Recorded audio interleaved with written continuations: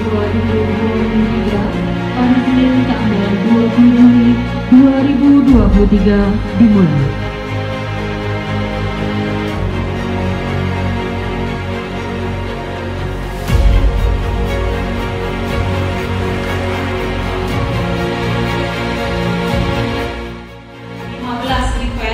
olahraga, pariwisata, ekonomi kreatif